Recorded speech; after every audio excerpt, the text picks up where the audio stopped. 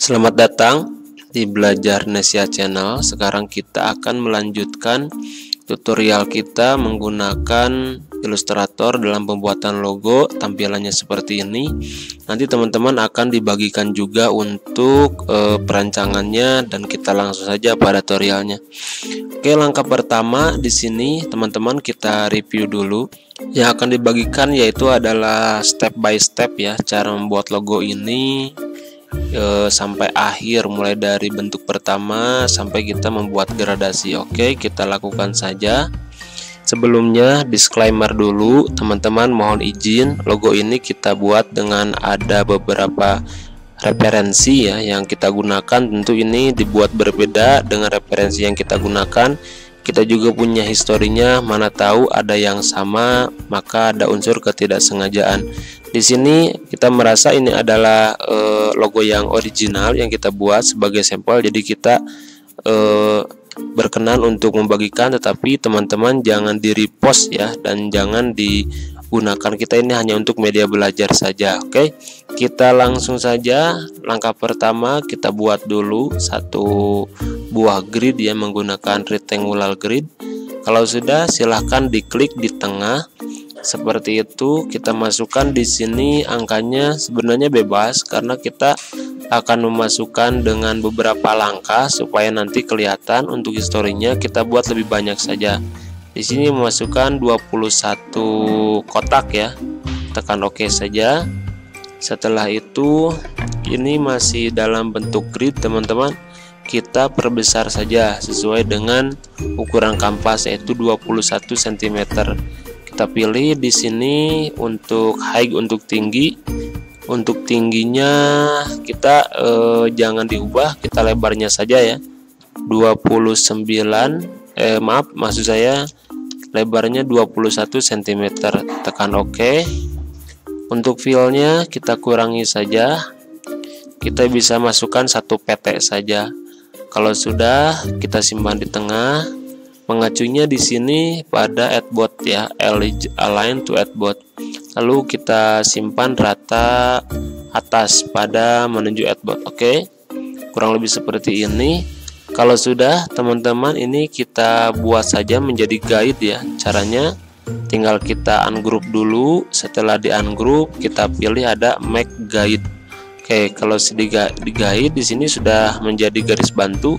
Jadi teman-teman eh, akan dibantu dengan beberapa garis grid ini ya supaya gambarnya nanti menjadi presisi. Oke langkah pertama kita buat menggunakan untuk mendapatkan ya. file silahkan klik halaman Pentul, dan download yang uh, ada kita di menggunakan grid jadi setelah itu nanti kita teman-teman akan gridnya. dibawa kepada Di sini, halaman blog cari silahkan tombol download biasanya mulai paling dari, bawah.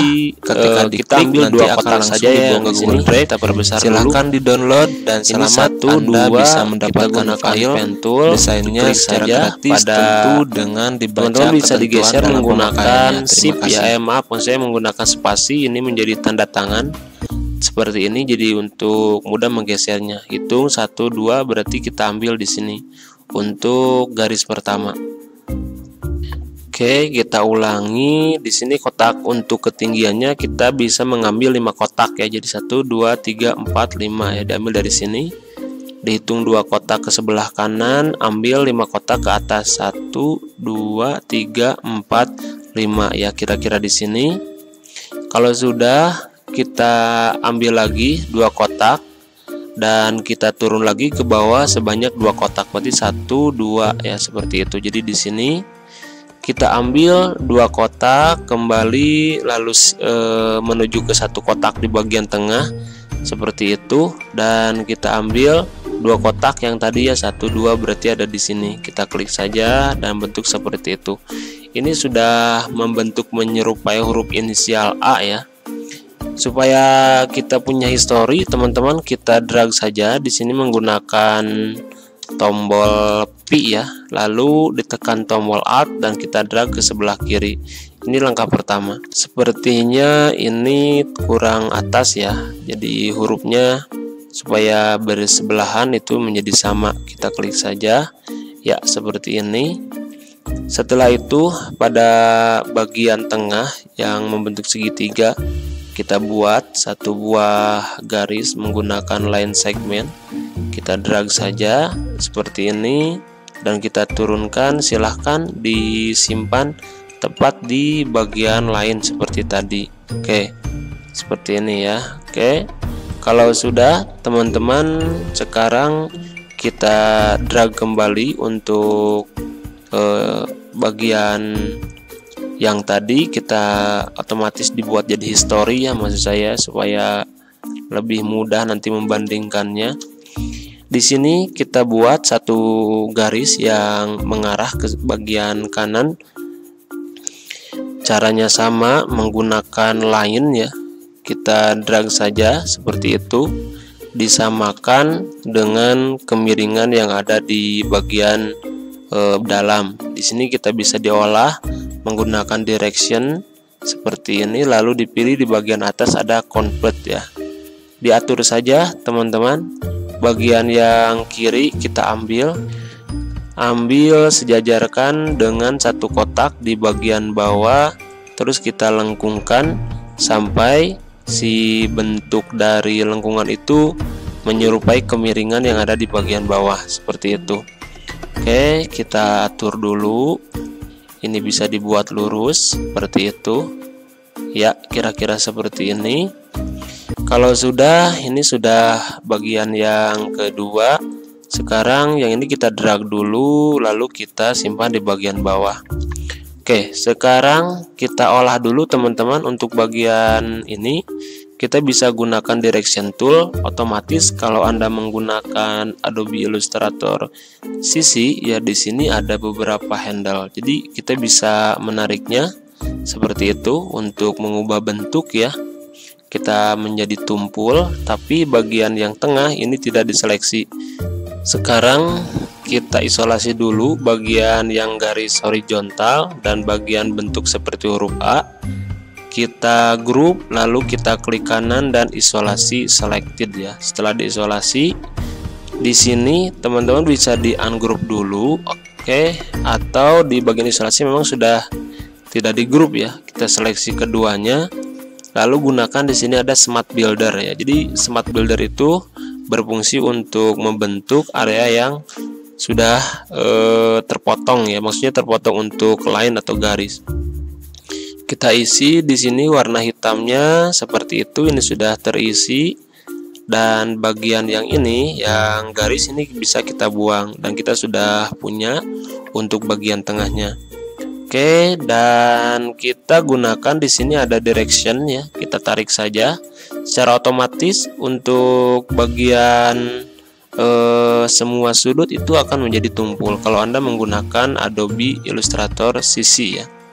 Dan bagian yang tengah juga sama kita tarik seperti ini. Dan nanti kita sesuaikan untuk kemiringan ya teman-teman. Eh, tolong diingat bahwa supaya lebih presisi nanti kemiringannya juga bisa disesuaikan.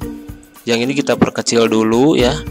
Silahkan tekan tombol alt dan shift. Kita naikkan ke atas.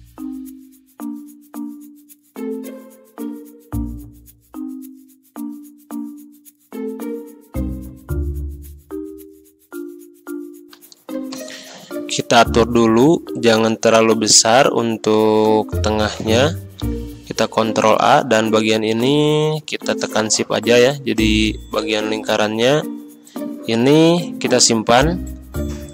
Perkecil pada bagian atas ditekan shift kembali dengan alt seperti itu. Lalu kita buat sudut tumpul. Oke seperti ini. Kalau sudah sekarang tinggal kita tekan escape ya. Kita copy kembali oke caranya sama seperti yang tadi. Tekan alt dan geser ke samping ya. Ulangi tekan alt geser ke samping seperti ini. Kalau sudah teman-teman sekarang kita potong ya bagian yang ini untuk menuju ke bagian atasnya. Sama menggunakan line segmen yang tadi. Kita drag saja. Ini ngikut ke kemiringan yang e, lain yang tadi. Ya jadi bisa ikut di bagian yang ini. Kalau ingin jelas teman-teman bisa di bagian yang ini. Kita kontrol A dulu ya. Sebentar kalau ingin jelas kita isolasi kontrol A ya dibuat. Oke di sini kemiringannya bisa dilihat teman-teman. Ini tidak terlalu miring ya.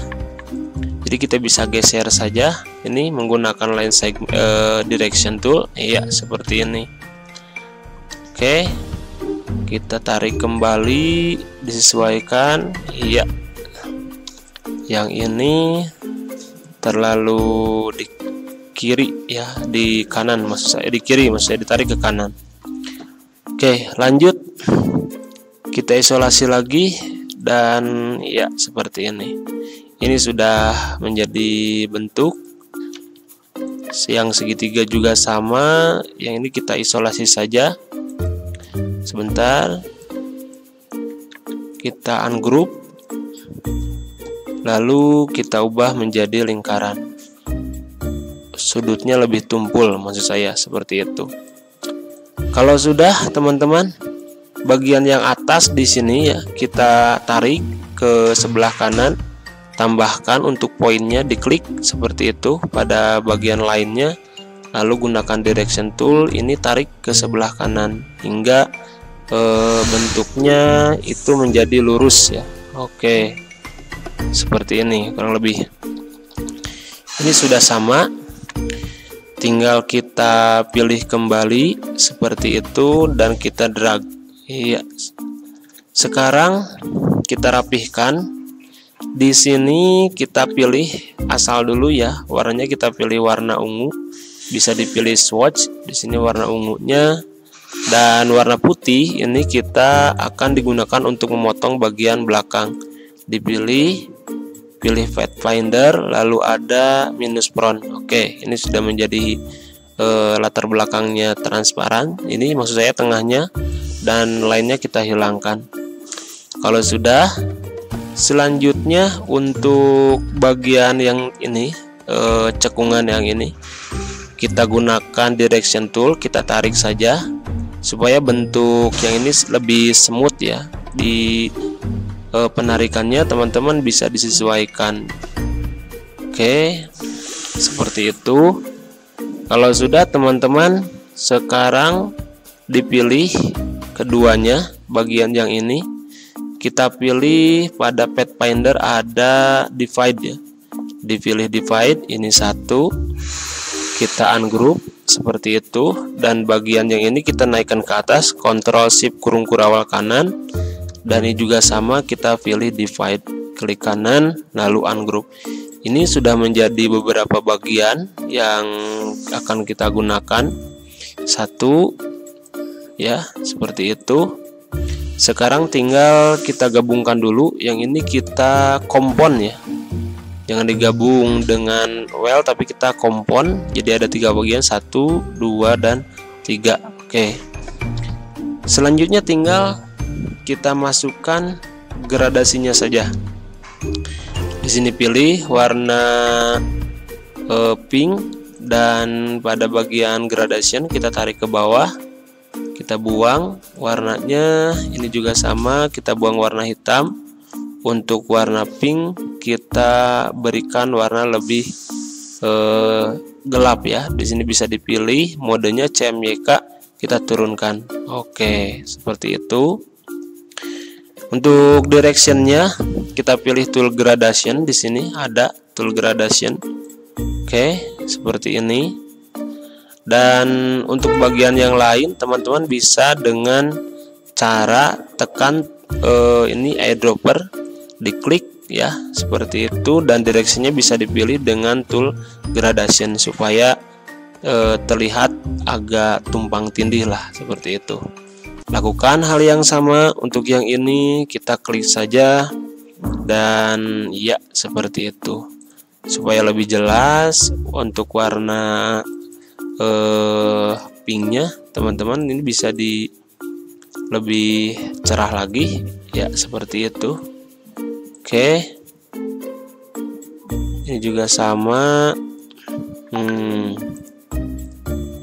lakukan seperti yang tadi tekan tombol I dan e, kita drag ya oke dragnya satu-satu ya.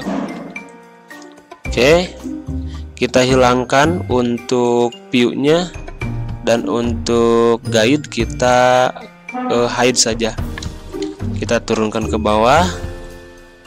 Oke dan kita tarik bagaimana hasilnya. Tinggal diberikan di sini saja logo inisial menggunakan huruf abjad A. Teman-teman bisa menggunakan text tool dan saya di sini sudah membuatnya ya supaya tidak lama tinggal dipastikan saja. Tulisannya diganti menjadi lain eh, gradasi dan di bawahnya logo inisial a.com itu hanya contoh saja. Oke. Di sini sedikit revisi ya teman-teman. Untuk pembuatan pada bagian tengahnya itu harusnya lebih kecil kembali. Karena dilihat di eh, bagian lainnya di sini agak kurang ya kurang presisi. Harusnya lebih atas lebih kecil. Kayak itu mungkin revisinya sedikit saja. Nanti pas membuatnya tinggal diperkecil. Bisa dilihat nanti teman-teman di bagian eh, prosesnya di sini sampai hingga akhir bisa dibantu oke itu dulu mohon maaf untuk kekurangannya dan kesalahannya mungkin ada gambar yang tidak disampaikan atau terpotong atau tidak tersampaikan atau bentuk yang tidak sama. Terima kasih sudah menonton, mudah-mudahan bermanfaat. Salam belajar nasihat channel.